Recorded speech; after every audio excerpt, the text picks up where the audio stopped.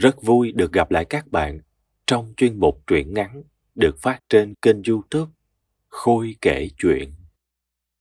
Ngay sau đây, Khôi xin gửi đến các bạn một truyện ngắn của tác giả Đặng Ngọc Hưng. Truyện ngắn được mang tên Nhàn. Xin mời các bạn cùng lắng nghe.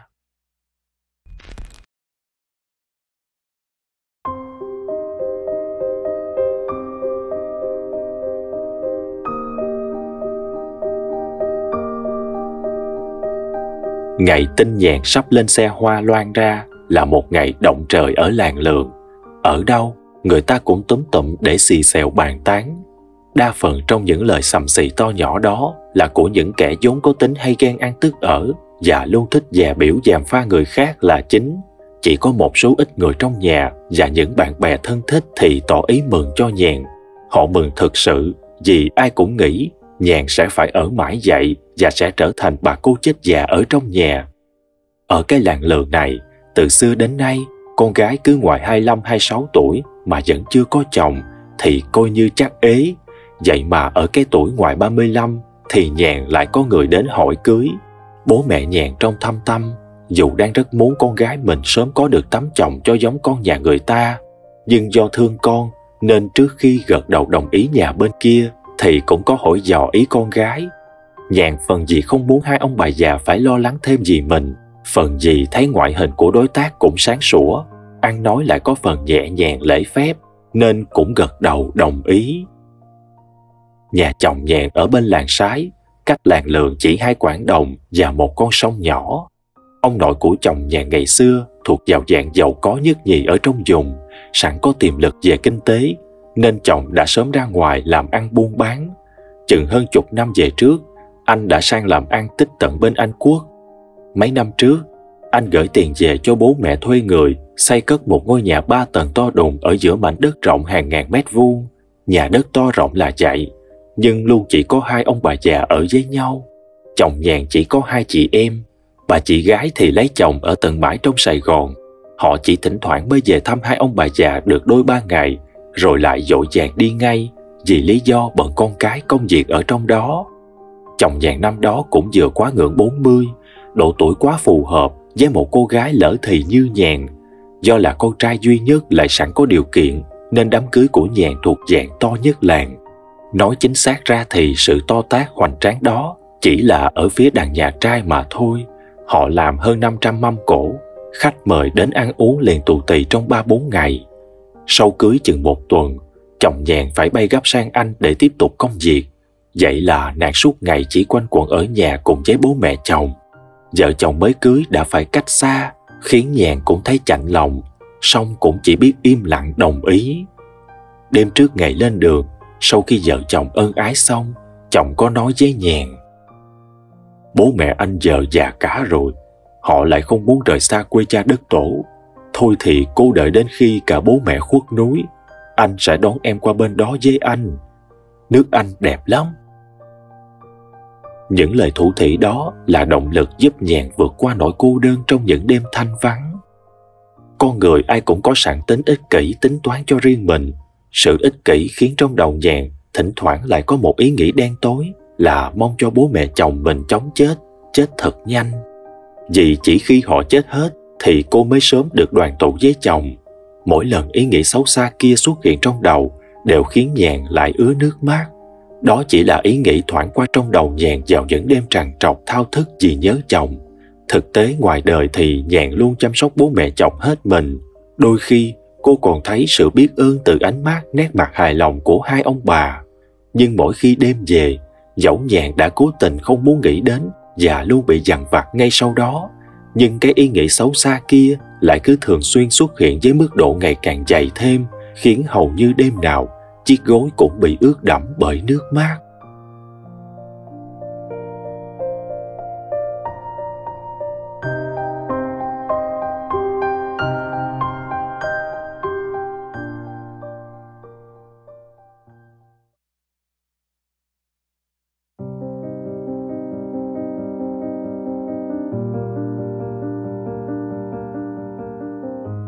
Nhàn là con út trong nhà có bốn chị em gái. Do tư tưởng trọng nam khinh nữ thời đó, nên bố mẹ nhàn đã phải cố để đẻ cho bằng được một cậu con trai. Chỉ đến khi đẻ đến đứa thứ tư dẫn tội ra con gái thì bố mẹ nhàn mới quyết định dừng lại.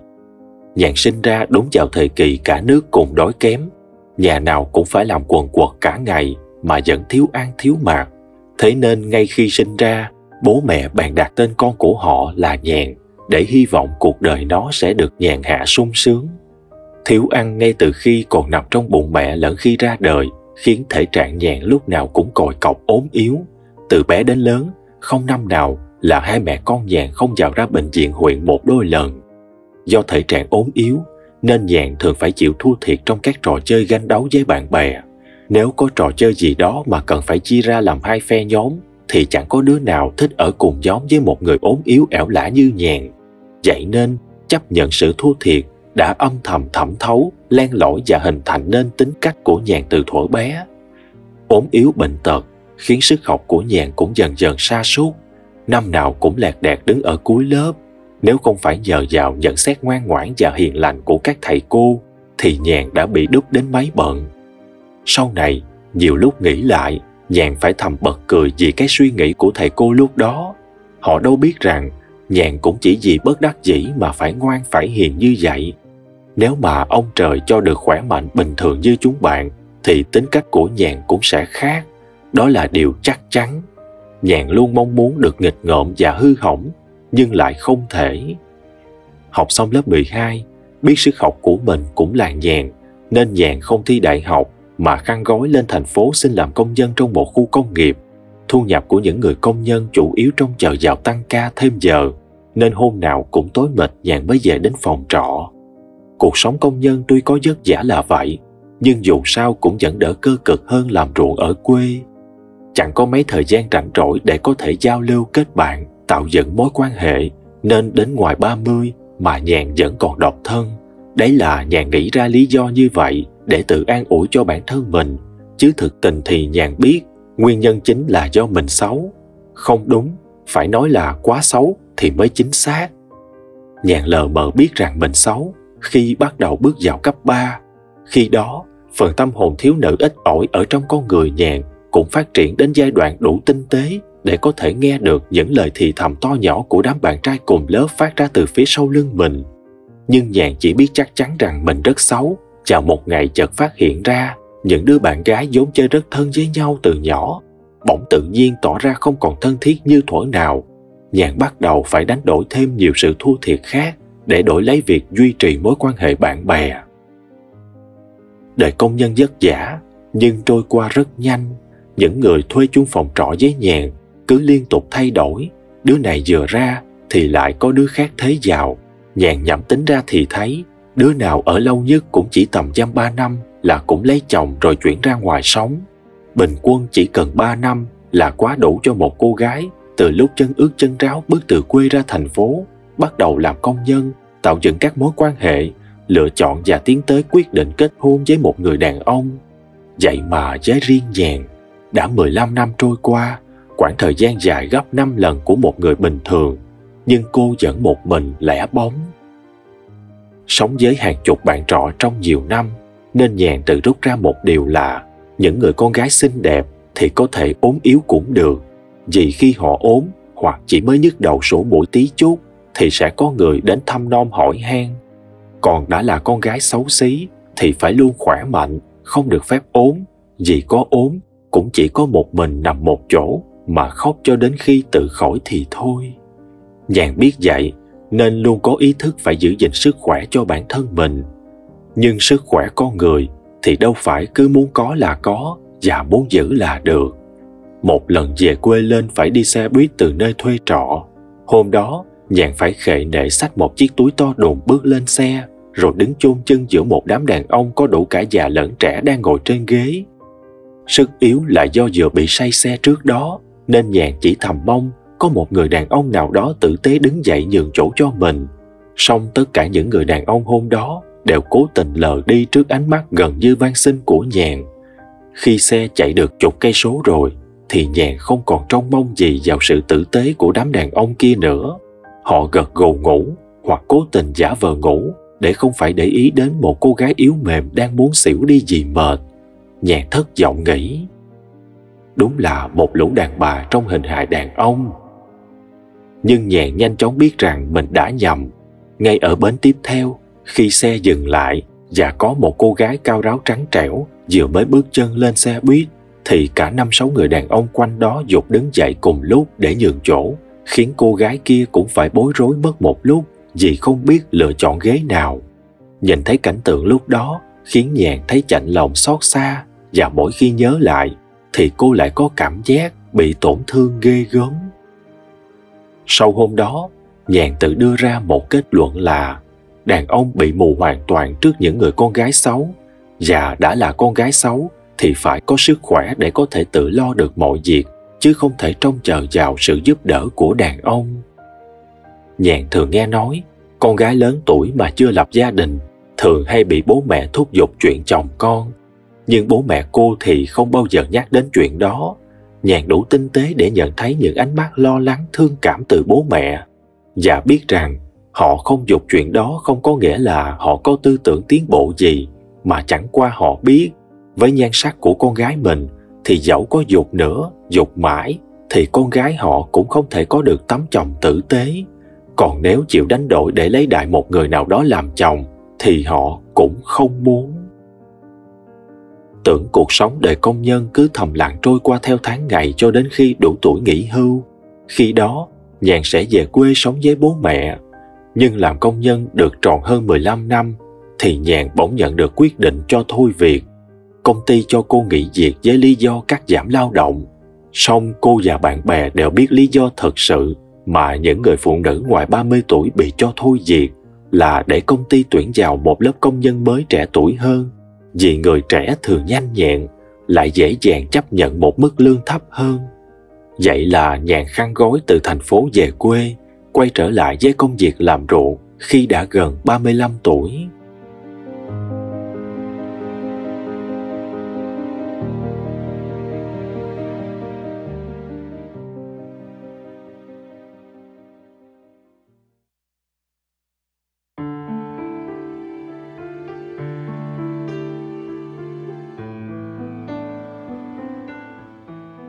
Nhà chồng vốn từ lâu đã không còn làm ruộng, nên từ ngày về làm dâu, Nhàn không phải trồng cái gì cả. Hàng ngày cô chỉ có việc đi chợ cơm nước giặt giũ và chăm sóc cho hai ông bà già. Công việc tuy không vất vả như làm ruộng, nhưng nó cũng cuốn nhàn theo từ sáng cho đến tối. Thỉnh thoảng cũng có được chút thời gian rảnh rỗi. Mỗi khi như vậy, nhàn lại chạy qua nhà mẫu giáo của làng vừa phụ giúp hai cô giáo, vừa chơi với lũ trẻ con nói là nhà mẫu giáo cho oai, chứ thực ra nó chỉ là một cái nhà kho cũ của hợp tác xã ngày trước. Lớp học chỉ rộng chừng hai chục mét vuông mà có tới gần ba chục đứa trẻ từ 1 đến 5 tuổi. Lũ trẻ con ở quê bao giờ cũng nghịch, nên hai cô giáo lúc nào cũng phải đánh vật với bọn chúng. Thanh niên trai gái trong làng hầu như cứ học hết lớp 12 thì dắt díu nhau lên hết thành phố. Đứa đi học, đứa đi làm. Câu nói, giàu nhà quê không bằng ngồi lê thành phố, lúc nào cũng đúng. Nên thanh niên trong làng chỉ thấy đi thì lắm, mà ít thấy người về. Đám thanh niên ra ngoài chừng dài ba năm thì đứa lấy vợ đứa lấy chồng. Chúng sinh con đẻ cái, rồi gửi con về quê cho các ông bà nuôi nấng. Nhiều cô gái nhẹ dạ phải làm mẹ đơn thân, cũng gửi cháu về cho ông bà ngoại chăm nom. Vậy nên thanh niên trong làng thì chẳng thấy có, nhưng trẻ con thì vẫn cứ nhiều. Thời của nhà ngày trước thì làm gì được đi học mẫu giáo, trẻ con cứ đến 6 tuổi là tự động vào học lớp 1 trường làng. Nhưng giờ đã khác, lũ trẻ phải học mầm non mẫu giáo rồi mới được vào tiểu học. Bậc học thay đổi, nhưng cơ sở vật chất thì chưa quen kịp, nên ba chục đứa trẻ con trong làng vẫn chỉ học chung trong một phòng học nhỏ tạm bỡ giới nhàn thì chỉ có những lúc được vừa chơi đùa với lũ trẻ con là khoảng thời gian vui nhất cô như được sống lại với những ký ức tuổi thơ của chính mình. Nhưng sau đó mỗi khi đêm về, những hình ảnh của đám trẻ con khi chúng chơi, chúng ăn, chúng cười lại mang đến cho nhàn một cảm giác buồn bã chạnh lòng. Mỗi khi như vậy, nhàn luôn thầm ước chồng mình sớm về và cô sẽ sớm có được một đứa con của chính mình. Nhàn vẫn tưởng chồng mình chỉ đi lâu chừng dăm tháng, cùng lắm là một năm sẽ về thăm nhà. Ai ngờ anh đi một lèo đến gần 5 năm mới có một lần về. Lần đó cũng chính là ngày mẹ chồng nhàn mất. tang lễ cho mẹ xong xuôi, anh lại hớt hải quay lại Anh Quốc. Trước khi đi, chồng lại thủ thị rót vào tai nhàn. Chỉ còn mỗi bố nữa thôi, em cố gắng chịu đựng nhé. Bằng câu dặn dò chân tình đó, Nhàn tiếp tục ở lại chăm sóc bố chồng. Sau khi vợ mất, sức khỏe bố chồng Nhàn suy sụp nhanh chóng, ông ốm đau liên miên. Đôi lúc Nhàn dằn vặt tự trách mình bởi cô cho rằng những ý nghĩ đen tối xuất hiện trong những đêm khuya thanh vắng của mình đã góp phần làm cho ông già sinh bệnh. Sau một cơn đột quỵ thì bố chồng Nhàn phải nằm bẹp trên giường. Mọi chăm sóc cơm, ăn, thuốc uống hàng ngày đều đổ dồn lên đôi tay bé nhỏ của Nhàn. Cũng may chồng cô thường xuyên gửi tiền và gọi điện nhắn nhủ động viên, khiến Nhàn có đủ sức khỏe và nghị lực để mà chăm nom cho ông cụ. Bố chồng tuy nằm một chỗ, song đầu óc thì vẫn còn tỉnh táo. Mỗi khi nhìn con dâu hết lòng chăm sóc mình, ông lại ứa nước mắt. Dẫu không phải là người tinh tế, song nhàn thấy rõ sự thương cảm xót xa từ trong ánh mắt của bố chồng dành cho mình. Được bố chồng đồng cảm thấu hiểu, khiến nhàn cũng cảm thấy ấm lòng. Ba năm sau thì bố chồng nhàn cũng mất. Trước lúc nhắm mắt, ông bố gom góp chút sức tàn tạ cuối cùng của mình mà nắm chặt lấy bàn tay nhàn rồi phèo phào trong nước mắt. Bố xin lỗi con. Nhàn có cảm giác lúc đó ông phải thật khó khăn lắm thì mới có thể thốt được từ con ra khỏi cửa miệng. Nhàn còn chưa kịp hỏi lại lý do gì sao phải xin lỗi mình thì ông đã trút ra hơi thở cuối cùng.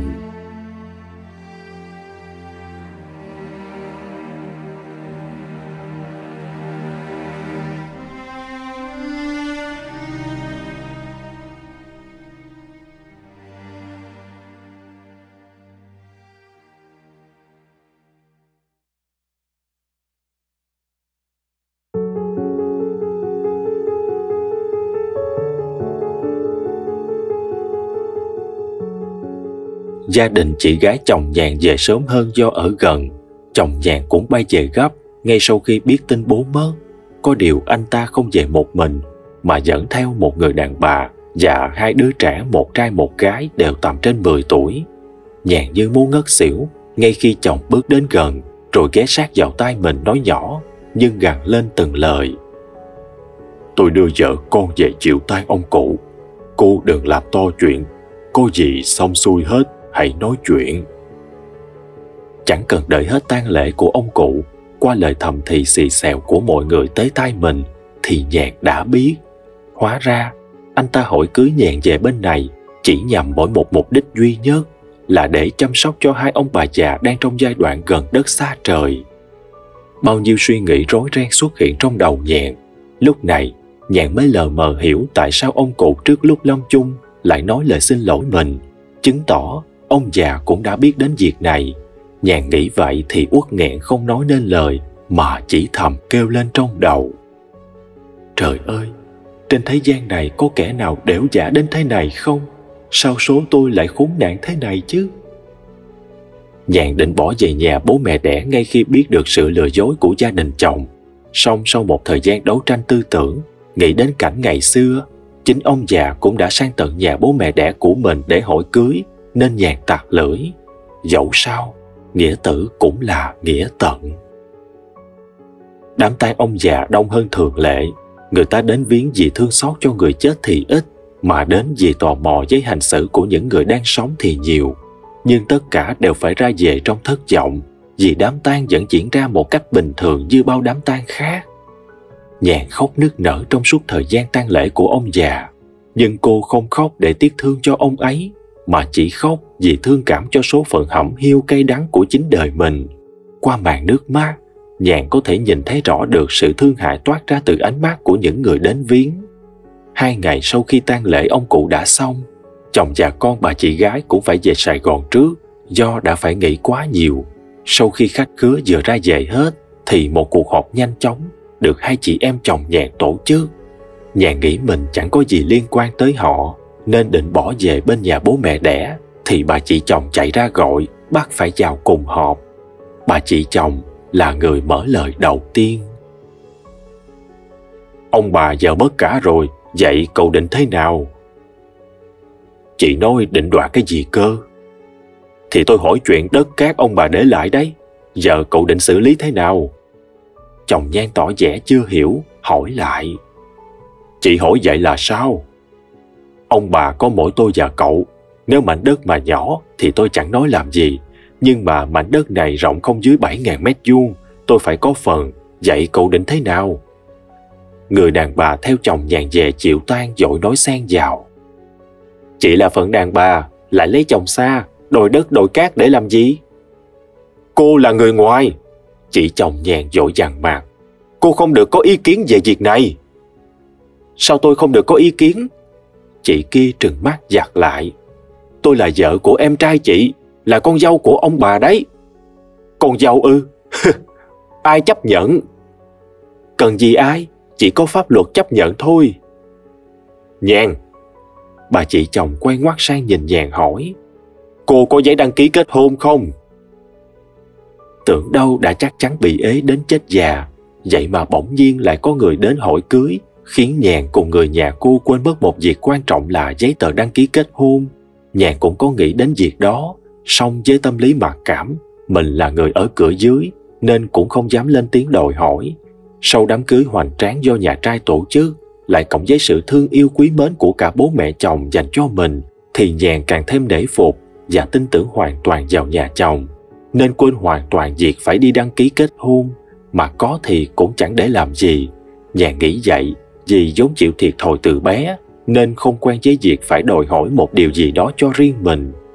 Thấy nhàn lắc đầu bà chị quay lại nhìn hai người kia hỏi. Thế cô có giấy đăng ký kết hôn không? Ơ à, sao không? Tôi biết sẽ có người hỏi nên có mang về đây nếu chị muốn xem. Đến lúc này nhàn mới lờ mờ hiểu ra vấn đề. Hóa ra mục đích của cuộc họp này là để tranh giành quyền thừa kế mảnh đất mà hai ông bà già để lại. Nghĩ mình không cần phải ở lại để tham gia tranh cãi với đám người này, nhàn lẳng lặng bỏ ra ngoài, rồi lấy xe chạy thẳng về nhà bố mẹ đẻ. Vừa đi, nhàn vừa nghĩ đúng là một lũ khốn nạn, bố vừa mới nằm xuống, đã cãi nhau để tranh chia đất cát.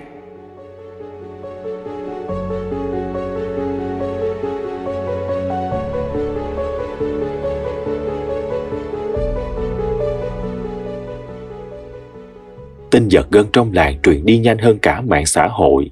Ngay hôm chồng nhàn đưa vợ con anh ta về chịu tan bố đẻ, thì ở bên này, bố mẹ nhàn cũng đã nhanh chóng biết rõ đầu đuôi mọi việc.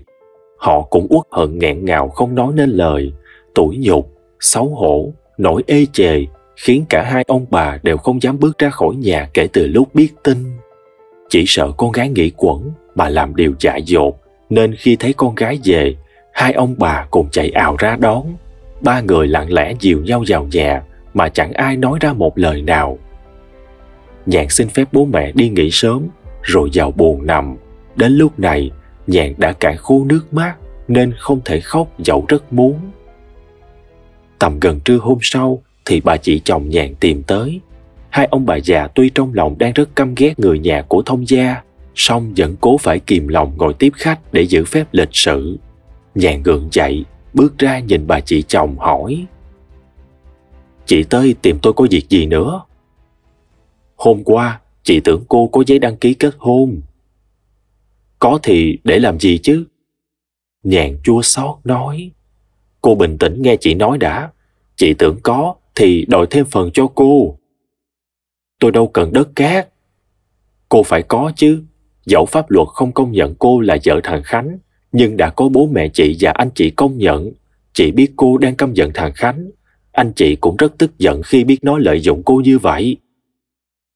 Anh chị không biết thật sao? Có thể cô không tin, nhưng việc anh chị không biết đến âm mưu của thằng khánh hoàn toàn là sự thật.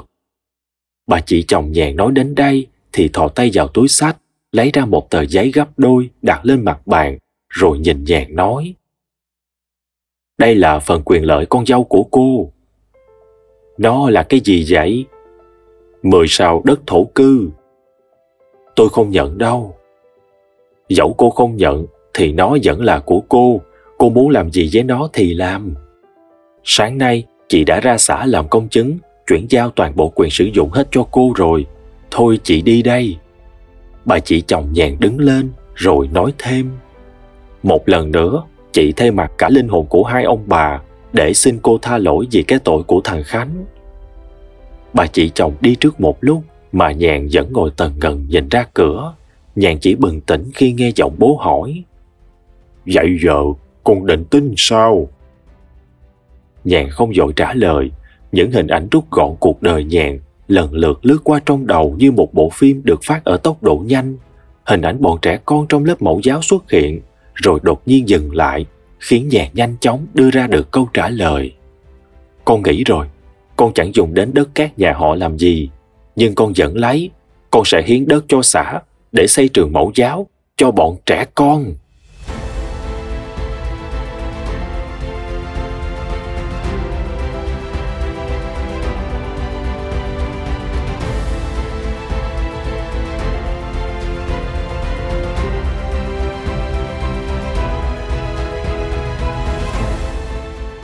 Nếu các bạn thấy hay, hãy like, share và đăng ký kênh ủng hộ cho Khôi nhé. Còn nếu có điều gì thiếu sót, các bạn hãy để lại góp ý. Khôi sẽ cố gắng khắc phục trong những truyện ngắn tiếp theo. Khôi xin cảm ơn.